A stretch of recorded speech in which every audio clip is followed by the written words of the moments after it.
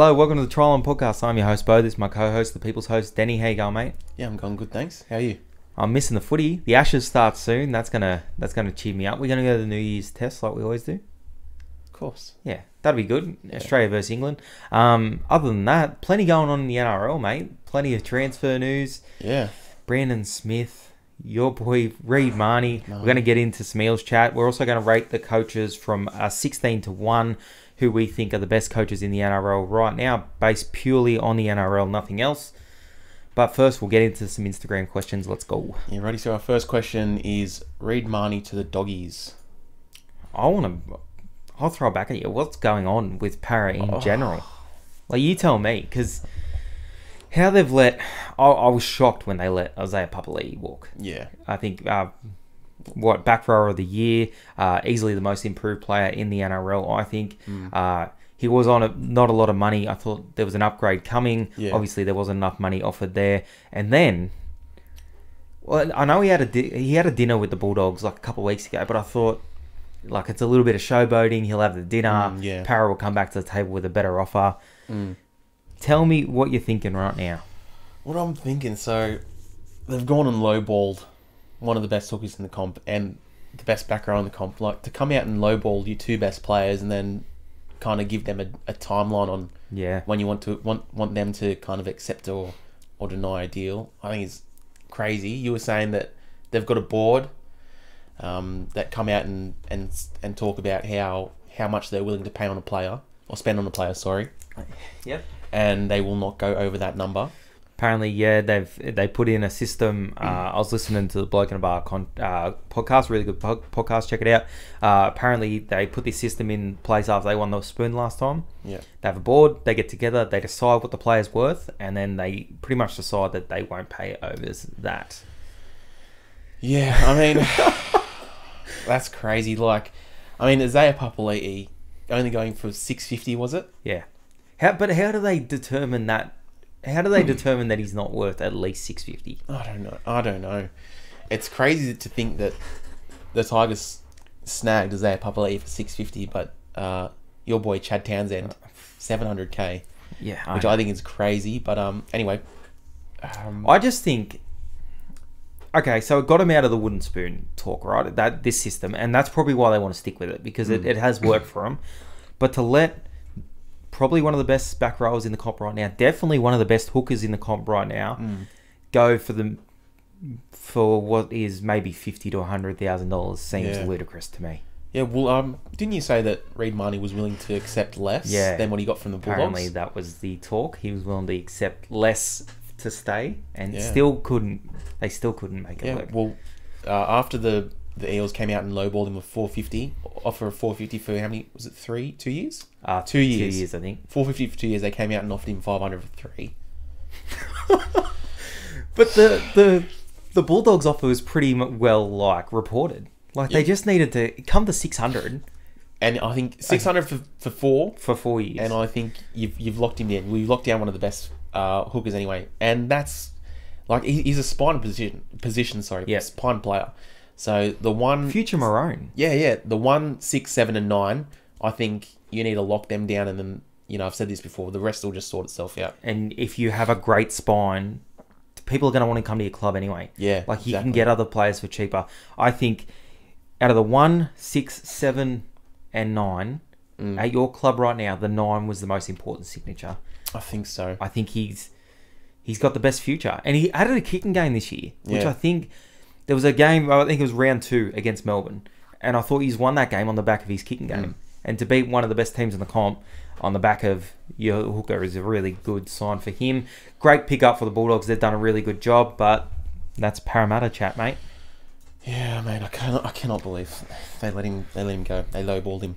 Anyway, on to the next. Another hooker, Brandon Smith, reportedly um, saying that he will be signing with the Roosters come 2023.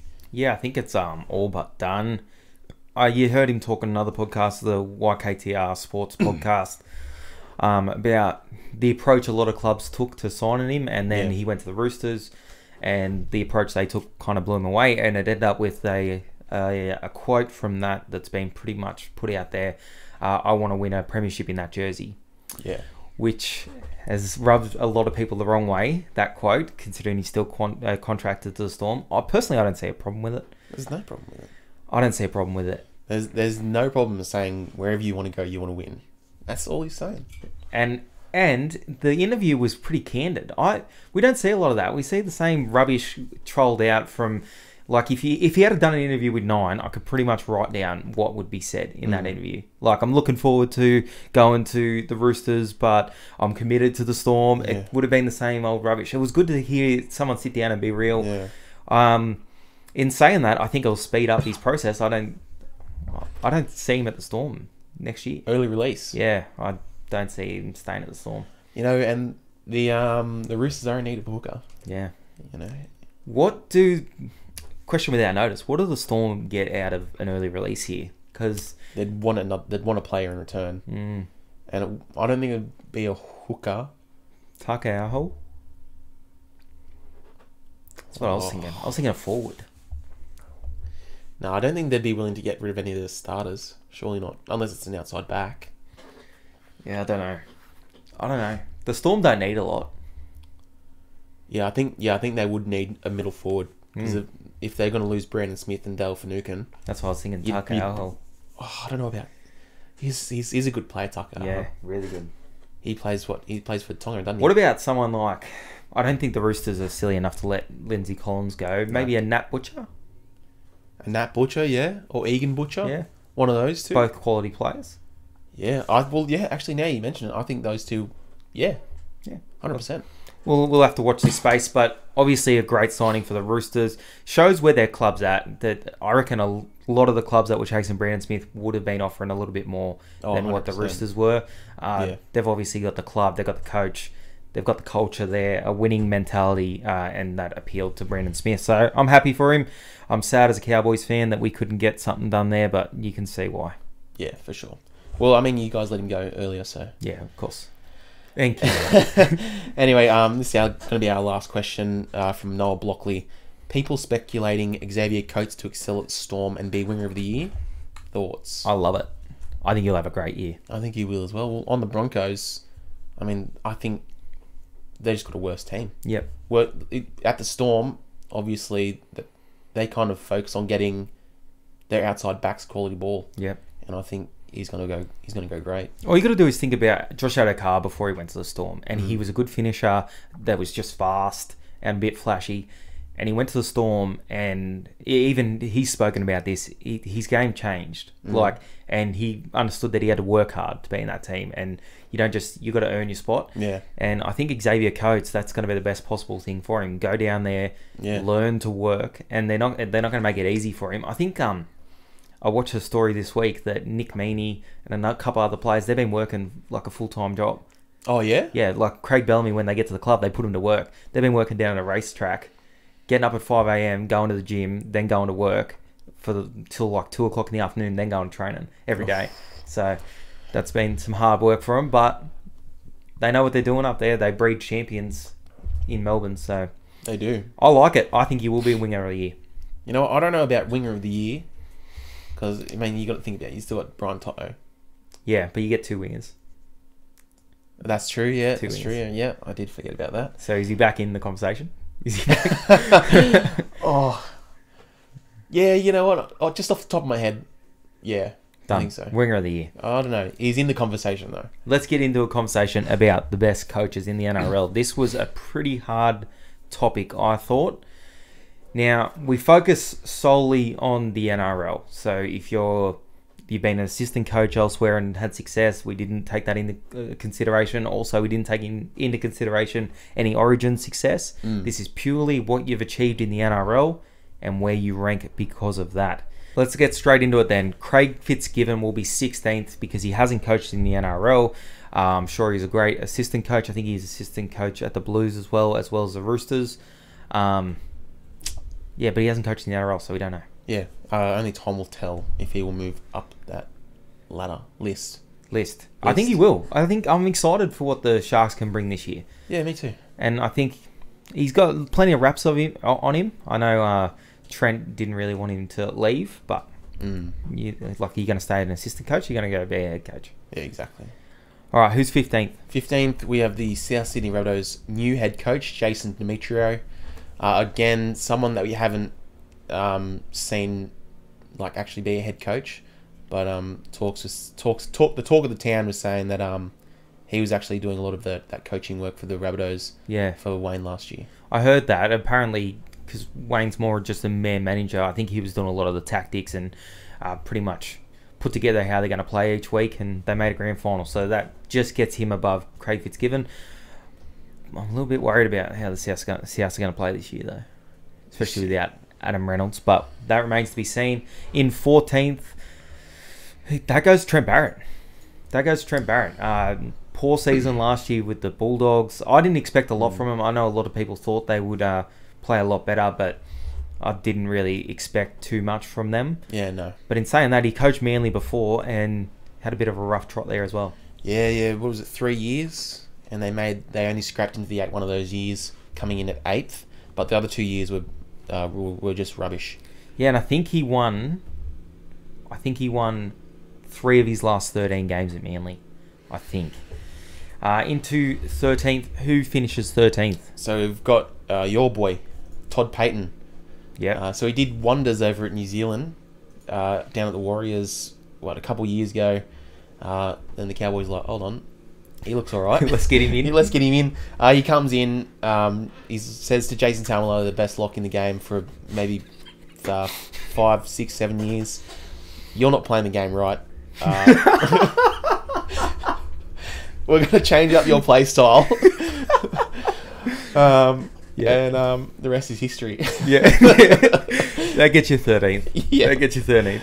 Also, Valentine Holmes, we're paying you eight hundred and fifty k. You're going on the wing, brother. Yeah. You're going straight back on the wing. Um, yeah. I don't know. I hope he has a better season. I was really excited for him. Uh, you mentioned the Warriors. He done a really good job there when he took over. He did, uh, yeah. When they were stuck in Australia, I thought they done. He done a really good job. But yeah, Jason Taumalolo, not one. It's it's not something you'll look back on and think that was the right decision. yeah, yeah. Uh, who is twelfth, Denny? 12th, we have Kevvie Walters. Um, so again, it was his first year of coaching as well. Uh, did we expect?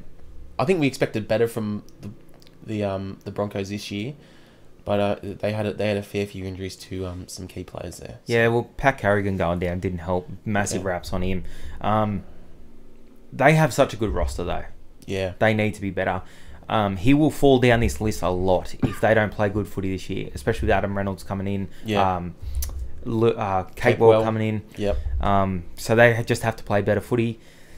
Yeah, Pat Carrigan will, will be back fit this year. Hopefully, Yeah. he can stay healthy. They re-sign him too. Massive, massive, Yeah. huge loss for the Dolphins. yeah, yeah, huge loss. hundred percent. especially because he was entertaining other offers too. So Yeah. good for the Broncos, bad for the Dolphins, bad for the rest of the NRL. Yep. Kevvie Walters finishes Twelfth. Yes. Who's in eleventh? In at 11th, we have Nathan Brown, the current uh, New Zealand Warriors head coach. Um, a few years back, he was down at the Knights, or up at the Knights. Yep. And, you know, he you know he, he didn't make a lot of noise down there, but he did, he did a good job um, rebuilding that side. Um, yeah, so he goes just above those uh, fresh coaches. I think he does have a track record of building a roster. It did Mm. hurt that RTS announced he was going. I think it was even before the season. Maybe he Did- said I said he was going. I don't think so. Before, not before the season, I don't think. I think he said that he was entertaining Yeah. offers from rugby. Yeah, yeah. So I that don't think- didn't help yeah, when he- your best player yeah. does that. I don't think he signed till around midway. They did bring in Reece Walsh, so he can identify young talent. That's going to help Yeah. him. And he he bring him in. So I mean, I mean, it's crazy that the Broncos let him go, but Yeah, good that They're uh, crazy. The. Broncos, they're nuts. yeah. But yeah, as we talked said, about it earlier. Who else did did they miss out on? Cameron Smith, Billy Slater, Cooper Cronk. Yeah, all three of them. That's crazy. And and Sam Walker as well. There's another one. But we're not talking about the Broncos at the moment. Um, I'm not expecting too much from the Warriors again this year. Yeah, well, I mean, It's tough. yeah, it is tough. It's tough, but I just don't see. I don't see a lot of upside out there. No, well, I think that the top eight will. I think that they'll be barely any change to the top eight. If they make the top eight, that'll be a superstar season. Yeah. Like if they make the top eight, Nathan Brown might be one of the coaches of the year. They can find their way in the top eight, but I can't see it happening. No, me neither. Who goes tenth? At tenth, we have the current Knights coach Adam O'Brien.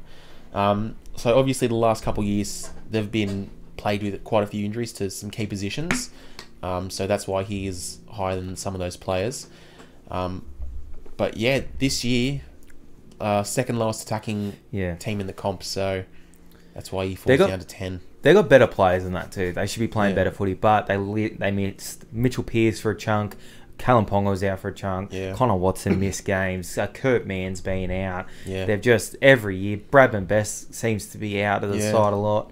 So They had Lachlan Fitzgibbon out as well. I'm pretty sure they did have Blake Green, but then he got injured and Yeah. he had to retire. yeah, well they it. did, and I think Saif Saifiti missed some games. That's your Origin prop. So Yeah. uh, that's we've kind of been a bit lenient on him there. He's only coached the NRL two years and made the semi-finals two years in a row. So Yeah, and with all those injuries as well. So I mean, imagine if the Knights had stayed healthy that whole time. Yeah, they still need to fix their attack. They're a better side, Yeah. even with some injuries, than finishing second last in attack. But we've shown some goodwill, and he's run tenth. Yeah. In a uh, in ninth, just ahead of him, is Justin Holbrook. Yes, I think he had a very good first season in the NRL. he did. Uh, have- first two years. Yeah, very. Yeah, well, um, the Titans didn't finish above like eleventh or something before he came in. Oh, well, for the first few years before he came in, and then he comes in, they finished ninth and eighth. Yeah, So yeah, and they they stormed home that year. They finished ninth too. I think they won their last five. Last year they were a lot better. But they still were patchy last Yeah. year. I think he was trying to find his heart's combination. Uh, Fogarty had a real good year in 2020. 2020 yeah, twenty twenty. had a poor year last year, and now they've moved him on. So, um, Yeah. I think they're, they're still the best version of the Titans is yet yet to come, and I Mm. think Tino Fasul Mal- uh, Malawi is a part of that. I think he's a gun. Yeah, Big Tino. I reckon just hand him the captain, hand him the keys, and let him work. I think he's the future of that club. Justin Holbrook, good first two years in the NRL. He takes ninth, just ahead of uh, Adam O'Brien there. Yep, and yeah, he, yeah. I, again, he um, Justin Holbrook did a great job with recruitment as well. Yeah, So to bring in uh, David Fifita, Teno Fasul Malawi, um, there was a few other good good forwards there. There was was it Sam SASE, yeah, SCSC, yeah, which, which are all quality forwards. So Yeah. good on him. Um, on to eighth, we have Anthony Griffin. yeah. He just has a more proven track record in the NRL. I think Yeah. top four finishes with the Broncos and Panthers. I think I definitely know the Panthers one. He got sacked when they were in the top four. Actually, Yeah. the Panthers, which is unbelievable. Were they second? Yeah, They're coming second and he got like- sacked. So That's Yeah. that's a rough go of it. Um, and I thought he started really well with the Dragons. Now, what happened at the Dragons last year was totally out of his control. Mm. They had a barbecue and they, they didn't win a game after that. I don't think they won a game after that. That's my favourite stat of all time.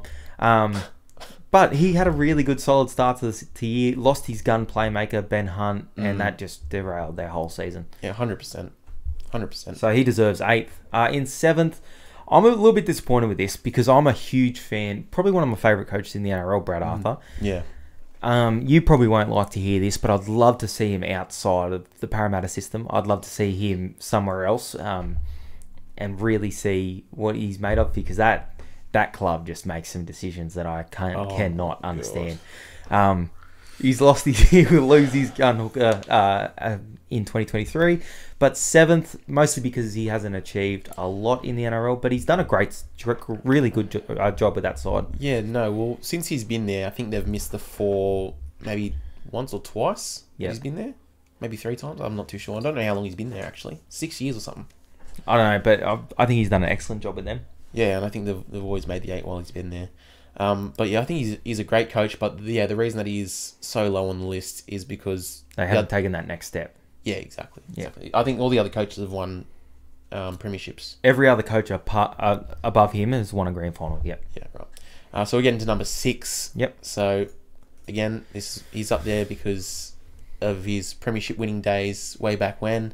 Is Michael Maguire? He's the, currently coaching the Tigers. Got to be the most hated coach in the NRL by players. Yeah, well, maybe it's just because he, he he just might push him a little bit too hard, and a, a lot of players, well, a lot of people just don't like that. Usually, when you hear something about a coach like that, you can chalk it up to some spin or something like it's just rubbish. But it's the consistent story that comes out of teams he coaches is he's disliked. Mm. He's disliked amongst the playing group. Um, I think he's a great coach. Uh, you, he's very passionate about what he does. He's passionate about the Tigers. Mm. Uh, even watching that Tales of Tiger Town, he, you see he's invested. He's all in on the club. Uh, you want a coach like that, but I, I just the Tigers, man, the Tigers. I just don't know about the Tigers ever. Yeah. You don't know what you're going to get from them on any given day.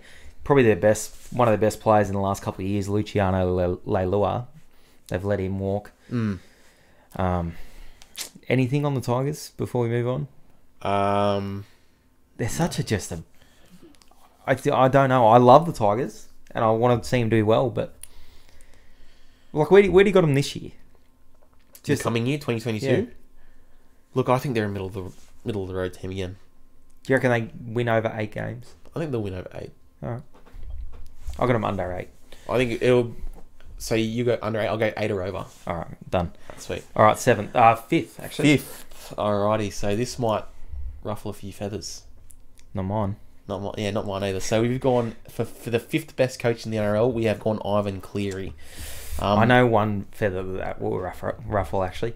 Um, Ivan Cleary.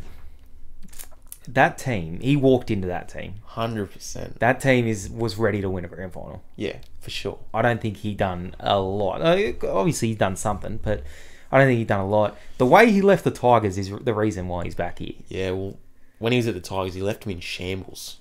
Like, rattle off some of the players he signed for the Tigers. So there was uh, Josh Reynolds. Terrible. Josh, Reynolds, he signed him on big money Yeah, too. terrible. He's terrible. Um, I think there was another. Was there Russell another Packer? halfback? Russell Packer. And I'm sure there was another Moses Mbye. Moses and Bryan. They signed him on a big on big money as well. I don't mind Moses Mbye, but like not on huge cash. And there was one. Did he bring back Benji on big money too? Yeah, Old old Benji on, on big money. And he just I, I don't know Yeah. the way he left that club and then he, he tanks out like he tries to get everyone on board and then tanks out halfway through the year goes back to the panthers and then the way he acts when they beat the tigers he, i think they beat the tigers once and he was giving it to the crowd and that oh yeah, um, come on mate yeah, seriously i, I could have almost had him below madge yeah, mostly because i'm just not a big fan of him yeah. Look, I'm gonna put this out there. And this might be a little bit of Eels bias, Eels fan bias. I think Brad Arthur is better than Mike Maguire and Ivan Cleary at this at this time. And it's only because they've won premierships. That's the only reason they're above. I'm telling you right now you take any chance to have a shot at the panthers though as an eels fan as an eels fan you take any chance to have a shot at the panthers You know what? I was starting. There was a few years ago where I absolutely hated the Panthers because we, we there, there was a game that we were playing, and it was we, Parra were winning, and it was like like the Bryce Cartwright thing. Was it the Bryce Cartwright? I don't think so. Kick, kick crossfield. No, no, no. I, I can't remember what happened after, but Parra player's running the ball up, and then he gets knocked out. And Parra are winning. I think they're up by two or four. Yeah. and then nothing gets called. A para is on the ground, knocked out. He's got knocked out while taking a run. Yeah. And anyway, Panthers players they just keep on playing, blah blah blah, and they end up scoring and winning. And then I was like, I hate I hate the Panthers so much. And then the last couple of years, I'm I'm thinking, hold on, like the Pan, they got some nice players. I like Cleary, I like Brian To'o, Yep. I like Fisher-Harris, I like Appy, Yep. um, I like Moses Leota as well, and I liked, um, what's that bloke? Zane Tetevano. Yep. I liked him as well. So I was like, yeah, all right, the Panthers, you know, You're back on I'm board. back on board. And then come finals this year, what happened? When they were just, was it just, they were just slowing the bla- play the ball down heaps? Yeah. And it was just so blatant. and it, you know what, it just, it killed me. I just think Panthers and Eels just don't like each other. Yeah. I think it's just a hatred that runs deep. No, it was all those missed calls. All those missed calls. Michael Jennings getting tackled out the ball. and then, yeah, uh, uh, you know, I'm getting too fired up about it. But right. Brad Arthur's better than. Is he still fifth? coaches. I know. Yeah. No, he has to be fifth because he, him and Madge are really close for me. I think we'll put it. We'll put it down. Ivan Cleary is better at this time, just because the Panthers are having a little bit more success than the Tigers. All right. Done. Uh, fourth. Fourth, we have uh, Ricky Stuart coaching the Raiders at the moment. Coached Parra for a little bit. They really didn't do anything when he was there, but won a premiership with the Roosters. I Yep. think you were saying back in the day. Um, so yeah, with the Raiders at the moment, they had an off year this year, but I think it was two years ago. They made it to a grand final, 2019, yeah. and I think they were unlucky to get the loss there. I think Ricky Stuart's proven. Uh, he didn't do a lot at he didn't do a lot at um, At Parra, Parra. I think he coached at the Sharks as well, and he coached the Roosters. Um, they won a grand final at the Roosters. Then he went to the Raiders, right? Mm. And they wouldn't. They were gone. The Raiders, Yeah. and their roster was terrible. And he rebuilt that roster, kind of a Moneyball roster too. Like not a lot of big names in the NRL. He went and found them. Englishman. Yeah, he went and identified a lot of talent, built that roster, got that. Not only built the roster, but got the town behind the roster too. Yeah, And that run in 2019 was was special because they went and knocked off Melbourne in Melbourne, twice. which is special. Wasn't really it was special. twice? I'm sure. Yeah, well, they beat them in a prelim up there. Yeah, prelim and in the regular season, I think as Yeah, well. which is nuts. Yeah. Or they might not have beat him in the prelim. They might have beat him week one and got the prelim at home.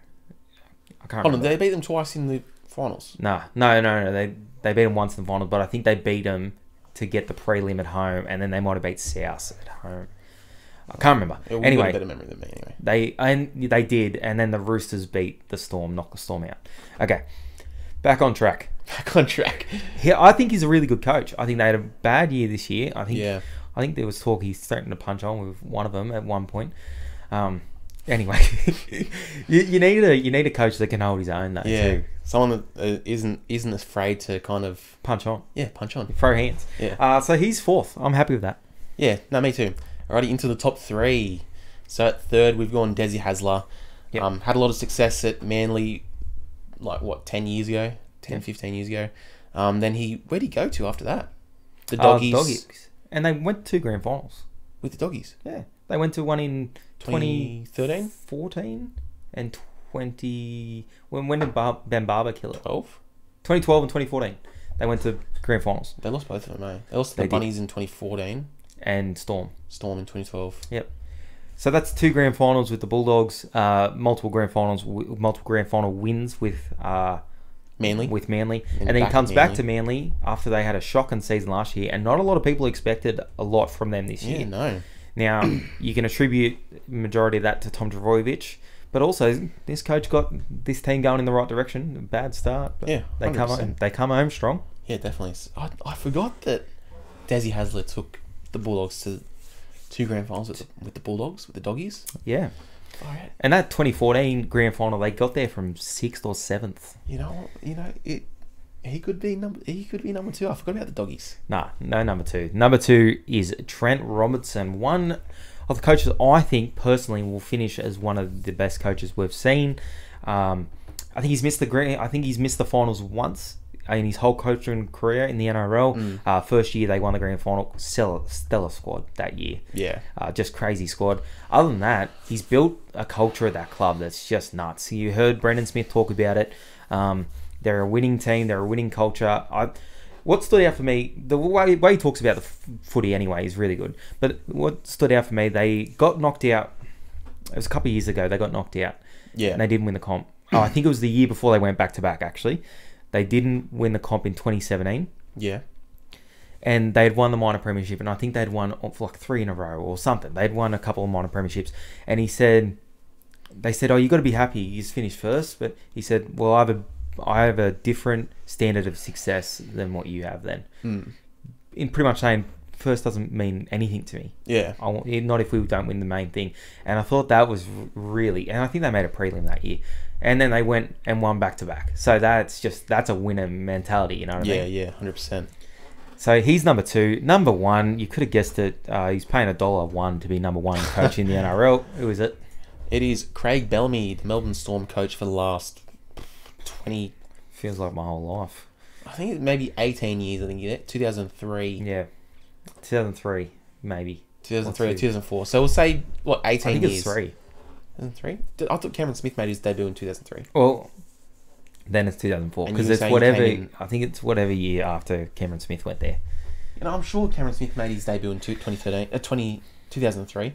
I don't know, but just the the track record this guy has of taking a person that's a middle of the road player and Mm. turning him into a superstar is nuts. And he doesn't overly recruit. No, he doesn't.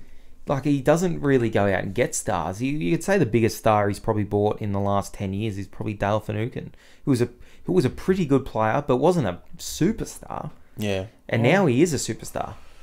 Did did Greg Inglis start his off his career Yeah. storm? Greg Inglis started the Storm. And Israel Folau did as well? Yeah. Oh, he might have started at the Broncos. I think he started at the Broncos. Oh, he yeah. So Israel Folau then. But that's a generational talent. Yeah. Israel Folau.